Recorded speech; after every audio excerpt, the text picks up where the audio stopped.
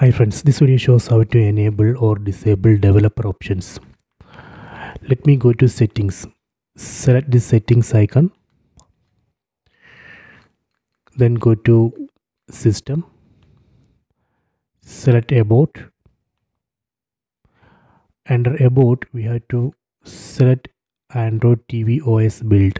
Select it then press OK button on the remote 7 times.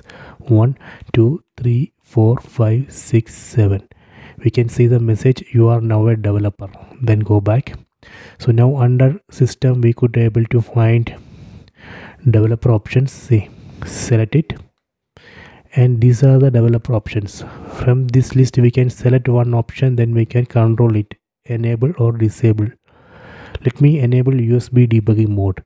Select then press ok button then select ok see now I have enabled USB debugging mode.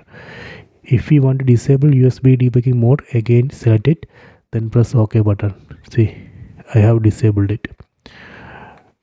So if you want to disable developer options completely we can select developer options here then press OK button. See now I have disabled developer options then go back.